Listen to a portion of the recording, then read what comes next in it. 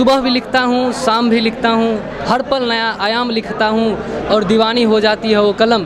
जिस कलम से मैं निशांत सर का नाम लिखता हूँ। हमारे सर मैथ्स के टीचर हैं और वो बहुत बेसिक से मैथ्स पढ़ाते हैं सभी स्टूडेंट को। सर के पढ़ाने का तरीका बहुत ही अच्छा है। सर जो भी पढ़ाते हैं एकदम बेसिक से पढ़ाते हैं। इजी से इजी मेथड में और हर तरीका से समझाने की कोशिश करते हैं। शॉर्ट ट्रिक के मेथड से या किसी भी अच्छे तरीके से बताते हैं। आने वाला समय में ये कोचिंग बहुत ही आगे जाएगा। ईमानदारी से मेहनत की दिल लगी। सफलता का सहारा है। अगर हौसला हो जिगर में तो हर मौज में किनारा है। यही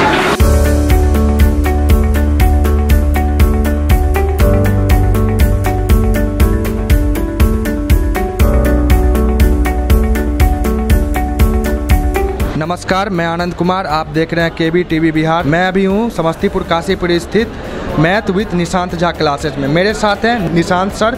बात करते हैं निशांत सर से। सर, सबसे पहले के बी स्टूडियो में आपका बहुत बहुत बहुत स्वागत। आपका भी बहुत बहुत स्वागत है। आपके दर्शकों को भी, जो भी देखते हैं के बी स्टूडियो, उन सभी को दिल से आभार है। आप यहाँ आए, उसके लिए आपको भी धन्यवाद। है मेरा नाम निशान झा हुआ और हम समस्तीपुर में 2019 से पढ़ाते हैं। 2 दिसंबर 2019 को अपना संस्थान का उद्घाटन किए थे। इससे पहले हम एक कोचिंग संस्थान में पढ़ाते थे, उसके बाद अपना इंस्टीट्यूट खोले 2 दिसंबर 2019 को। और पहले हम 2017 सी जी एल मेंस दिए थे और 2018 सी जी दिए। जहाँ पे बहुत अच्छा स्कोर था बट इंग्लिश में कुछ मार्क्स कम था, इस कारण मेरा मेरिट लिस्ट नहीं बना। उसके बाद पढ़ाना शुरू किए, और तब से एक शुरू से ही पढ़ाने का आदत था, और बचपन से ही पढ़ाते थे। लगभग ट्वेल्व क्लास के बाद से पढ़ाना शुरू किए थे। तो मुझे लगा कि हम पढ़ा सकते हैं, और अच्छे पढ़ा सकते हैं। और ये एक छोटा शहर था। इस शहर को चूज़ करने के प्रति भी मेरा एक ही कारण था कि यहाँ के बच्चों को एक लेवल प्रदान करें। इसीलिए हम समस्तीपुर को चूज़ किए, जबकि सी जी के बाद बहुत सारे इंस्टीट्यूशन थे इंडिया के बड़े बड़े जहाँ से जब मेरा मार्क्स बहुत अच्छा था 200 में एक आया था तो ऑफ़र आ रहा था कि आप आके यहाँ क्लास लीजिए। लेकिन उसके बावजूद भी हम समस्तीपुर को ही चुने, क्योंकि मेरा यह या होम जिला है, गृह क्षेत्र है, इसलिए हम इसको चुने और इसलिए यहाँ से पढ़ाना शुरू किए। और आज लगभग दो साल हुआ और दो साल में कुछ पीरियड ऐसा रहा जो कोरोना का निकला, लेकिन कोरोना के बावजूद संभलते हुए कोचिंग चला और आज एक अच्छे मुकाम तक कोचिंग को लेके आए हैं। ये सब स्टूडेंट का ही दिया हुआ है और स्टूडेंट के प्यार के कारण ही ये सब मुमकिन हो पाया है। सर आपका शिक्षा दीक्षा कहाँ से लिए? आप इसके बारे में बताएँगे प्रॉपर मेरा होम डिस्ट्रिक्ट भी समस्तीपुर ही है और मेरा जो प्रारंभिक शिक्षा जो हुआ यहीं से हुआ। ग्रेजुएशन मिथिला यूनिवर्सिटी से हुआ। बहुत अच्छा रैंक आया था और लगभग पढ़ाई समस्तीपुर से ही हुई है। उसके बाद पढ़ाई मेरा जो पटना से हुआ है जो तैयारी का जो मेरा दौर था वो पटना से हुआ है। और उसके बाद पुनः हम वापस समस्तीपुर में पढ़ाने आए हैं। सर आपको एजुकेशन लाइन में आने का कैसे मन किया? एजुकेशन लाइन में चूँकि मेरे पापा भी टीचर हैं हमारे नाना जी भी टीचर थे मतलब हमारे बाबा भी टीचर हैं मतलब पूरा होल फैमिली टीचिंग फ़ील्ड से ही था। तो एक शुरू से ही लगाव था टीचिंग फ़ील्ड से और पढ़ाना अच्छा लगता था। इसीलिए हम टीचिंग फ़ील्ड को चुने और पढ़ाने के प्रति एक अंदर से जुनून था। मतलब जब हम शुरुआत किए थे, उस समय बहुत छोटा सा क्लासरूम था। छोटा सा क्लासरूम में समझिए कि 10 बच्चे को पढ़ाते थे और 10 बच्चे से शुरुआत किए थे और वहाँ मतलब बिना खाए पिए एक जुनून सा था पढ़ाने का और वहीं से पढ़ाने का शुरुआत की। और पढ़ाते पढ़ाते धीरे धीरे ये आदत में तब्दील हो गया। अब ऐसा है कि अगर एक दिन भी क्लास मतलब संडे को भी ऑफ़ होता है तो लगता है कि आज कुछ हुआ ही नहीं। इसीलिए पढ़ाना अंदर, पढ़ाते पढ़ाते ना, वो एक मतलब अंदर आदत सा बन गया। अब अगर नहीं पढ़ाएँगे तो मन ही नहीं लगता है। वो आदत में तब्दील हो गया। जो शुरुआत में हम पढ़ाए, वो बस पढ़ा रहे थे। लेकिन वो धीरे धीरे ना, एक ऐसा आदत बन गया या बिना पढ़ाए लगता नहीं है, मन ही नहीं लगता है। यही बात है। सर आप बच्चे को मोटिवेट भी करते हैं। इस, इस इसके पीछे क्या वजह है? देखिए सबसे पहले कम्पिटिटिव फ़ील्ड में क्या है कि बच्चे को अगर मोटिवेट नहीं करेंगे तो कुछ ऐसे बच्चे हैं जिनका एक नंबर से रिज़ल्ट छूट गया किन्हीं का पॉइंट से छूट जाता है तो हताश होकर फिर तैयारी छोड़ सकते हैं। तो तैयारी छोड़े नहीं। अरे परेशानियाँ आती जाती रहती हैं अक्सर परेशानियाँ आती है। कभी हो सकता है आपको पॉइंट से नहीं हुआ इसका यह मतलब नहीं है कि आप में लेवल नहीं है। अगले बार ट्राई करना चाहिए उसको। तो बच्चे को मोटिवेट रखना इसलिए ज़रूरी है कि ताकि वह तैयारी में अगर कहीं से चूक हो रही है, उस चूक को दूर करके पुनः दोबारा अच्छे से तैयारी करे। इसीलिए मोटिवेट रखना ज़रूरी है बच्चों को। इसलिए मोटिवेशन भी देते हैं, अक्सर मोटिवेशन देते हैं। मेरा यूट्यूब चैनल भी है, मैथ विथ निशान झा। वहाँ पर भी कभी कभी क्लास लेते हैं, बच्चों को मोटिवेट करते हैं। और क्लासरूम में तो अक्सर मोटिवेट करते हैं। सर क्लास इतना खचा खच भरा हुआ है, इसके पीछे क्या राज है? मतलब ये क्या कहना चाहेंगे? ये स्टूडेंट सबका ही दिया हुआ है। स्टूडेंट लोग ही लेके आते हैं। स्टूडेंट से ही स्टूडेंट आता है। मेरा कोई प्रचार नहीं है। मार्केट में कहीं कोई बैनर नहीं है मतलब बैच अनाउंस होता है तो बोर्ड पे लिख देते हैं ऊपर अभी देखिए लिखा हुआ है बस उसी के थ्रू बच्चा आता है और कुछ नहीं है। विद्यार्थी ही विद्यार्थी को लेके आता है और यही मेरा प्रचार है। सर आगे कोचिंग को कहाँ तक लेके जाएँगे आप? देखिए- क्या प्लान है आप? अब प्लान ये है कि अब ऑफलाइन फ़ील्ड में अच्छा चल रहा है अब इसको ऑनलाइन के तरफ़ कन्वर्ट करना है तो अब जो मेरा पूरा फोकस है वो ऑनलाइन के तरफ़ है ऐप लॉन्च करना है और ऐप लॉन्च के थ्रू समस्तीपुर के बाहर के बच्चों को भी पढ़ाना है। सबसे अहम मकसद अब अगला टारगेट मेरा यही है कि ऑनलाइन के मकसद से ऐप लॉन्च करके और ऐप पे बच्चों को पढ़ाएँ। सर, बच्चे को मैथ में किस तरह से समझाते हैं और कैसे मतलब उनको, उनके ब्रेन में मतलब आपका पढ़ाया हुआ बच्चा बता रहा था मतलब बहुत ज़्यादा मतलब समझ में आता है। तो किस तरह से आप पढ़ाते हैं? सबसे बड़ी चीज़ है कि मैथ्स अगर आप पढ़ते हैं तो फंडामेंटल जानकारी बहुत ज़रूरी है। बिना फंडामेंटल को आप पढ़े हुए पूरा कन्वर्ट नहीं कर सकते हैं अच्छे लेवल पर नहीं आ सकते हैं। जब तक आपका फंडामेंटल क्लियर नहीं होगा तब तक आप आगे की ओर नहीं जाएँगे। तो पढ़ाने से पहले तीस क्लास जो हम लेते हैं शुरुआत में, वो फंडामेंटल लेते हैं। फंडामेंटल जैसे ही ख़त्म हो गया फंडामेंटल लेने के बाद तब सिलेबस की शुरुआत करते हैं। तो जिनका मैथ्स अगर वीक भी है, जिसका मैथ कमज़ोर भी है तो वो कमज़ोर मैथ्स अगर है तो अगर शुरुआत का तीस दिन करता है तो उसका मैथ्स बेहतर हो जाता है। अब साफ़ जिनका कमज़ोर रहेगा, उनकी तो नहीं बात कर सकते, लेकिन जिनका थोड़ा बहुत भी ठीक ठाक है, वो शुरुआत का अगर तीस दिन क्लास करते हैं तो तीस दिन क्लास करने के बाद उनका बेहतर हो जाता है। तो हम डायरेक्ट सिलेबस नहीं पढ़ाते हैं। सबसे पीछे रीज़न यही है बच्चों के यहाँ आने का, कि पहले फंडामेंटल क्लास लेते हैं। फंडामेंटल जब कंप्लीट हो जाता है तब सिलेबस आते हैं। सिलेबस भी तीन कैटेगरी में पढ़ाते हैं। एक लो लेवल पढ़ाते हैं एक एवरेज लेवल पढ़ाते हैं और एक हाई लेवल पढ़ाते हैं। तो लो से हाई की तरफ़ जाते हैं इसलिए बच्चे को ज़्यादा समझ में आता है। इसलिए बच्चे प्रीफर ज़्यादा करते हैं और कोई विशेष बात नहीं है। सर आपके क्लास में क्या क्या सुविधा दिया जाता है? इसके बारे में बताएँगे। सबसे पहले है कि क्लास नोट्स में क्वेश्चन की संख्या बहुत ज़्यादा है। पैंसठ सौ क्लास नोट्स में प्रॉब्लम है। जो हम खुद एक एक क्वेश्चन डील करते हैं, इसके बाद पैंतीस सौ क्वेश्चन सेट में देते हैं प्रैक्टिस सेट में। टोटल मिला के दस हज़ार क्वेश्चन करवाते हैं वन वन ईयर के अंदर, एक साल के अंदर। तो ये एक मायने रखता है दस हज़ार क्वेश्चन किसी भी टीचर के यहाँ क्लास नोट्स में उतना करने के बाद बच्चे को किसी भी एग्ज़ाम में जब वो जाते हैं तो मैथ्स में किसी भी प्रकार का कोई समस्या नहीं रहता। एक क्वेश्चन हो सकता है ना बने बट 98 परसेंट क्वेश्चन जो है, वह अगर पूरा क्वेश्चन कवर करके जाते हैं तो 100 परसेंट है कि 100 में 98 परसेंट उनका एक्यूरेट आंसर सही आएगा। इसीलिए बच्चे प्रीफर करते हैं? कमज़ोर बच्चों के लिए क्या व्यवस्था आपके क्लास बच्चों के लिए ही आपको बोले कि हम सबसे पहले बेसिक क्लास लेते हैं। बिना बेसिक क्लास का हम क्लास शुरुआत ही नहीं करते हैं। उसका मकसद यही है कि जो बच्चे का कमज़ोर है उसको हम सही कर सकें। इसीलिए पहले बेसिक क्लास लेते हैं। तो आइए कुछ बच्चों से बात करते हैं और जानते हैं। मेरा नाम ब्रजेश कुमार हुआ। मेरा घर खगड़िया। एसएससी का प्रिपरेशन कर रहा हूँ मैं।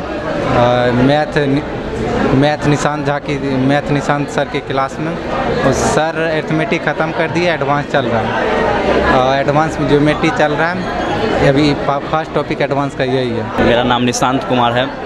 आ, सर से पीछे कुछ सालों मतलब पिछले सालों से जुड़े हैं। और मतलब सर का सबसे अच्छा लगता है खास बात इनका पढ़ाने का तरीका। किसी भी क्वेश्चन को इजी से इजी मेथड में और हर तरीका से समझाने की कोशिश करते हैं। और उनका बेसिक से मतलब जो भी लेवल है, पूरा हाई लेवल तक कंटेंट है, जो समस्तीपुर में एक यूनिक है।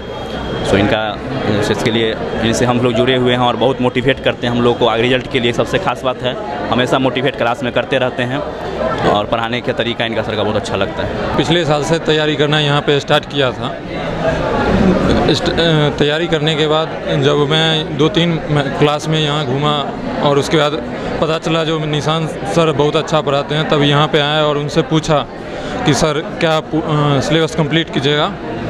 तो उन्होंने बताया कि हाँ पूरे अच्छे मेथड से करवाएँगे। जब से उन, उनसे क्लास करना स्टार्ट किए हैं, तब से वो सबसे अच्छे और यूनिक तरीके से किसी भी क्वेश्चन को शॉर्ट ट्रिक के मेथड से या किसी भी अच्छे तरीके से बताते हैं, जो इनका सबसे यूनिक मेथड है, जो समस्तीपुर में शायद ही कहीं मिलेगा, नहीं के बराबर ही होगा।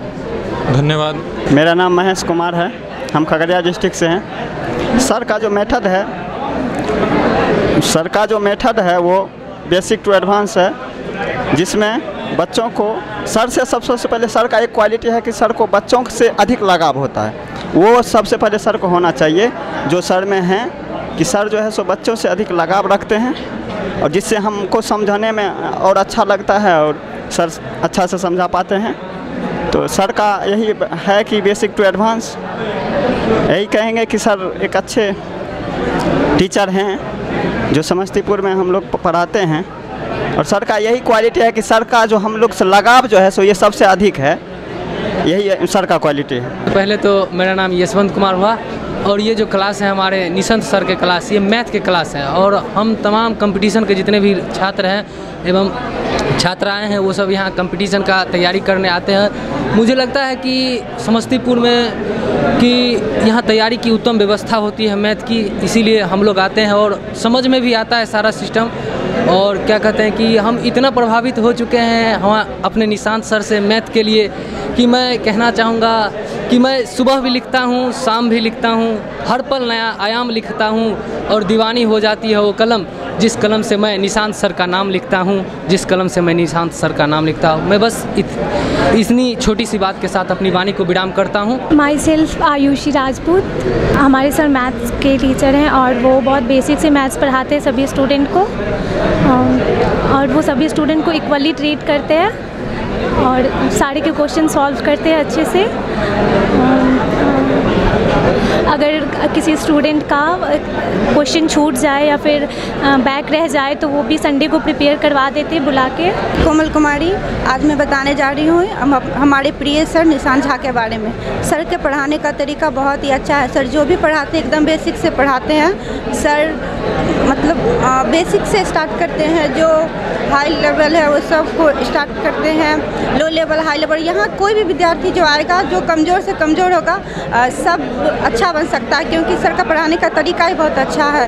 सर हमेशा क्लास में मोटिवेट भी करते हैं। जो ज़रूरी बात होता है, वो सब भी बताते हैं। जैसे न्यू न्यू एग्ज़ाम्स है, उसके बारे में बताते हैं। कहाँ पे क्या ज़रूरत है, ये सभी बातें को सर बताते हैं। और जैसा कि देख सकते हैं, यहाँ का माहौल, यहाँ हर जगह लगा हुआ है पोस्टर। जो ज़रूरत होता है, एक स्टूडेंट को, टीचर से, वो सब कुछ सर बताते हैं। नाम मोहम्मद शमशेर, घर शेरपुर। सर का जो पढ़ाने का जो तरीका है, जो बहुत अच्छा है, जो अच्छा से कंटेंट देते हैं और अच्छा से समझाते हैं, जिससे बच्चा समझ जाता है। सबसे बड़ा बात यह है कि सर जो समझाने का कंटेंट है बहुत थोड़ा अच्छी लेवल से समझाते हैं। लॉ से लॉ भी बच्चा समझ सक, समझ सकता है पढ़ाने के बाद। सबसे पहले मैं बताना चाहूँगा कि समस्तीपुर का जो ये संस्था है, सर, जो पढ़ाने का इनका जो तरीका है, वो बहुत ही अच्छा है। और सर, आने वाला समय में ये कोचिंग बहुत ही आगे जाएगा। क्या कि सर का जो पढ़ाने का तरीका है, बहुत ही अच्छा है। और सारा जितना भी होता है नोट्स सॉल्यूशन उसका सारा से अच्छा से करवाते हैं सब चीज़ बच्चा को कहीं भी कोई दिक्कत नहीं होता है उसको बनाने मैं। राहुल कुमार धुलक से आता हूँ। सर जो पढ़ाते हैं निशान सर जी, वो मुझे बहुत ही मतलब हौला वे में समझ में आ जाता है।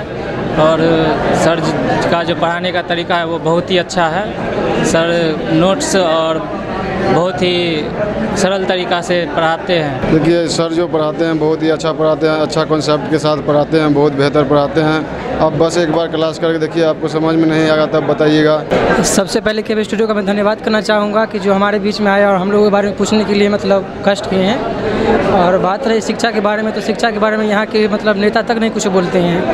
और हमारे निशान सर जो है मैथ के बारे में पढ़ाते हैं मतलब वो भी बहुत अच्छे पढ़ाते हैं। और हम लोगों को बहुत डिफ़िकल्ट जो भी होती है, उसको मतलब अच्छी तरह से समझाते हैं। और हम लोगों को कहीं दूर जाने की ज़रूरत नहीं है। मैं दुर्गेश कुमार, मेरा घर अजनौल पूर्वी दल सिंह सराय यहाँ से लगभग 30-35 किलोमीटर की दूरी पे है। सबसे पहले मैं बताना चाहूँगा, कौन कहता है आसमान में सुराग नहीं हो सकता? कौन कहता आसमान में सुराग नहीं हो सकता? बस एक पत्थर तो तबीयत से उछालो यारो। मैं निशांत कुमार झा, सर के यहाँ पढ़ता हूँ और ये मैथ के बहुत ही अच्छे टीचर हैं।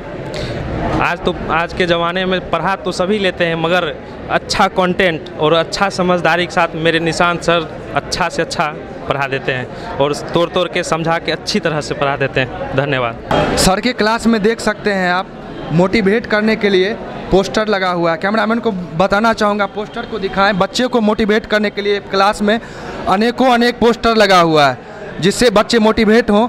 मैं कुछ लाइन आपको बताना चाहता हूँ। तुझ में जज्बा है तुझ में जुनून है रे। तुझ में हिम्मत है, तेरे जिगर में हौसला है रे। तुझ में सपनों का दरिया है, तू मेहनत का तूफ़ान है रे। हर मुश्किल का तू खुद ही जवाब है रे। तू अपनों का सहारा है, तू उम्मीद का सागर है रे। बहुत कुछ हुआ, अब तू उठ तुझ में बहुत कुछ है रे।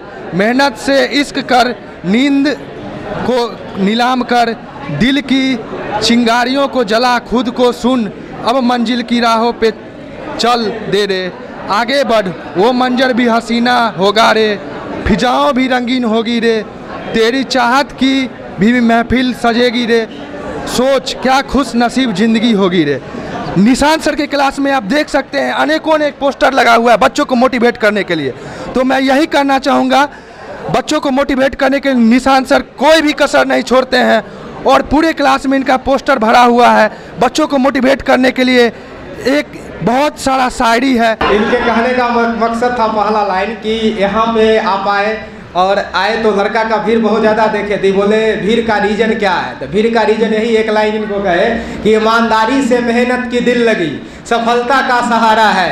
अगर हौसला हो जिगर में तो हर मौज में किनारा है। यही लाइन इसके इसके बाद एक लाइन है जो अक्सर बोलते हैं जवानी पे। अगर हो परंपरा से बगावत, या हो अपनों से बगावत तो ऐसी ही बागी जवानी हो आपकी। सफलता की जहाँ में खून से अपना नाम लिख दे, ऐसी पागल जवानी हो आपकी। जवानी जवानी का यह मतलब है कि अपने को सपनों की दरिया में आप छोड़ दीजिए। अपने को बिना आगे क्या होगा? आगे क्या होगा उसका कोई ठिकाना नहीं है। अगर उसको बिना देखे हुए आप अपने को अगर मतलब मेहनत के तूफ़ान में झोंक देंगे तो सफलता एक दिन मिलेगा। हो सकता है पॉइंट फाइव से आप चूक गए हैं ज़ीरो पॉइंट वन से आप चूक गए हैं, एक नंबर से मेरिट लिस्ट नहीं बना, लेकिन जब आप कंटिन्यूस कांस्टेंट मेहनत करेंगे कंसिस्टेंट रूप से अपने को मेहनत में तब्दील करके रखेंगे, रात दिन एक करने की ज़रूरत नहीं है। लेकिन अगर आप छः घंटा पढ़ते हैं तो कंटिन्यूस छः घंटा ही पढ़ेंगे और लगातार पढ़ेंगे। ये नहीं कि आज सावन है, कल सोमवारी मना रहे हैं, परसों ये छुट्टी है, वो छुट्टी, तब ऐसे में आपका कंसिस्टेंसी नहीं रहेगा। आपको सक्सेस के लिए एक ही चीज़ करना है कि कांस्टेंट होके और अपने आप को प्रत्येक दिन पढ़ना है। अपने आप का जो रिविजन होता है, अपने आप का पढ़ने का मतलब यह होता है कि जब आप रात में बैठते हैं और सोते हैं तो आप आकलन करें कि आज जो मेरा दिन का बारह घंटा गया, उसमें हमने क्या सीखा? क्या गम? मतलब होता है ना कि रात में गए, अब बहुत ऐसा लड़का होता है कि कान में मोबाइल लगा लिया हेडफोन से गाना सुनने लगता है। उसको एहसास नहीं है कि पिछला बारह घंटा हम क्या किए। लेकिन उसी में से कुछ ऐसा लड़का होता है कि रात में सोने टाइम यह एहसास करता है कि आज का जो मेरा बारह घंटा गया या तेरह घंटा, वह कंक्लूजन निकालता है, इन तेरह घंटा में हमने क्या सीखा, क्या खोया। क्या पाया और क्या खोया? यह अगर डेली आकलन कर लिए छः महीना तो सातवां महीना से आपका लेवल अपने आप मेंटेन हो जाएगा। रिज़ल्ट आना वहीं से शुरू होता है, जिस दिन अपने आप को डेली आप आकलन करते हैं। तो आकलन करना प्रत्येक दिन ज़रूरी है। जब तक आकलन नहीं कीजिएगा, तब तक आप में लेवल नहीं आएगा। क्योंकि आपको एहसास ही नहीं होगा कि हमने आज क्या पढ़ा, क्या खोया, कहाँ टाइम व्यतीत किया। आज जहाँ टाइम खराब जगह व्यतीत किए हैं, कल उस जगह को संवारिए। उस टाइम को आप फिर पढ़ाई में लगाइए। ऐसा नहीं है कि बारह घंटा पढ़ना है छः घंटा पढ़ना है, लेकिन प्रत्येक दिन पढ़ना है। तो मेन कारण यही है कि लड़के अगर लगातार मेहनत करें, लगातार कहने का मतलब यह है कि छः महीना, सात महीना कॉन्स्टेंट वे से अगर पढ़े तो उसको एग्ज़ाम हंड्रेड परसेंट है कि वह क्लियर करेगा। उसका मेरिट लिस्ट में नाम आएगा। लेकिन लड़का क्या करता है कि वह मेहनत नहीं कर पाता है। और मेहनत नहीं करने के कारण एक बार रिज़ल्ट नहीं हुआ, दोबारा फिर थोड़ा मेहनत स्लो कर देता है। इस कारण से क्या है रिज़ल्ट में और विलम्ब होने लगता है। लेकिन अगर एक बार आप फेल हो गए तो अगर दुगुना मेहनत से दोबारा प्रयास कर रहे हैं तो इतना गारंटी है कि सफलता आपको मिलेगी। हो सकता है थोड़ा लेट मिले, लेकिन सफलता मिलना तय है। इसलिए बाहर एक लाइन भी लिखा हुआ है कि जब आप सफल होइएगा तो हर महफिल की फिजाएँ दीदार करेंगी आपका। बस मेहनत से दिल लगी, समय से इस कीजिए जनाब। मेहनत से इस करना है, समय से। बात बाकी इधर उधर बाद नौकरी के बाद आपको जितना मोहब्बत करना होगा, कीजिएगा। अभी सिर्फ़ मेहनत से और समय से। दो से अगर इश्क हो गया तो इतना ज़रूर रखिएगा यह दोनों का, इसका जो प्रतिफल आएगा, यह आपको करियर में उस मुकाम पे लाके खड़ा कर देता है, जहाँ फिर लोग आपको आके और आपसे पूछेंगे कि आप इस मुकाम तक कैसे आए। उसके लिए दो चीज़ से मेहनत करना होता है, एक मेहनत से और दूसरा इश्क और दुनिया में जो भी आदमी इस दोनों से इश्क किया वो दुनिया में बहुत आगे गया है। और बाद बाकी जो इश्क होता है, वो इसके बाद का इश्क है। अगर यह इश्क सक्सेस हो गया तो फिर सारा इश्क आपके कदमों में आके पड़ा रहता है। बस ये दो इश्क को अगर आप अच्छे से निभा गए तो बाद बाकी इश्क होते रहेगा ज़िंदगी में। इसीलिए यही कहेंगे, और अंत में यही कहेंगे आपके आपके सभी दर्शकों को, कि अगर जो भी कम्पिटिटिव फ़ील्ड में तैयारी करते हैं, और समस्तीपुर में अगर रहते हैं, या समस्तीपुर के आसपास के हैं तो यहाँ आ सकते हैं। क्लास का एड्रेस है Kashipur girls high school road में, डॉक्टर जी सी कर्ण के सामने।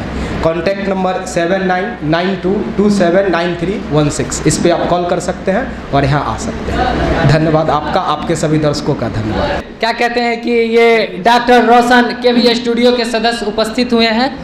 हमको हमको ही नहीं, हमको लगता है कि आप सबों की, को भी बहुत खुशी महसूस होगी क्योंकि मीडिया प्रभारी के हैं ये लोग आदमी।